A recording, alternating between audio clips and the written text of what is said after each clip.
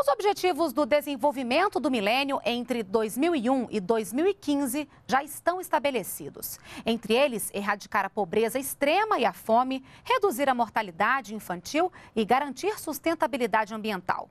A ideia agora é construir uma nova agenda após 2015. Por isso, um seminário reuniu nesta terça-feira representantes da sociedade civil e do governo para debater temas sociais.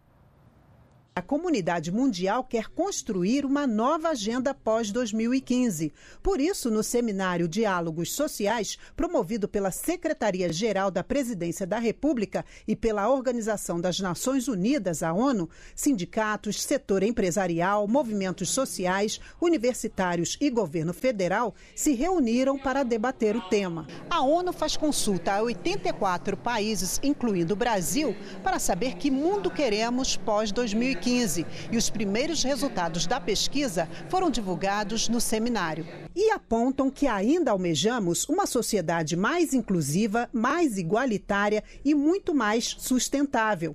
O levantamento começou em fevereiro desse ano e tem previsão para terminar em maio.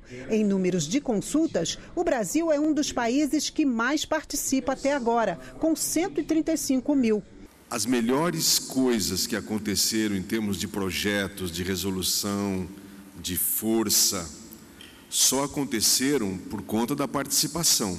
A ministra do Meio Ambiente, Isabela Teixeira, observou que a consulta da ONU é feita apenas em países em desenvolvimento e cobrou o engajamento no processo dos países desenvolvidos. E um dos desafios que a gente tem é ter exatamente essas obrigações, esses novos caminhos que sejam obrigações de todos os países. O encontro Diálogos Sociais também teve o objetivo de dar continuidade aos temas tratados na Rio como desenvolvimento sustentável, participação social, preservação da biodiversidade e erradicação da pobreza. Como nós colocamos claramente na Rio Mais 20, é impossível se discutir desenvolvimento sustentável excluindo bilhões no planeta.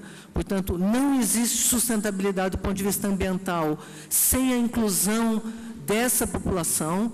Da mesma forma, não é possível a gente pensar na inclusão de milhões e bilhões de pessoas num mundo que tem limites e num mundo que tem que prever um futuro sustentável do ponto de vista ambiental.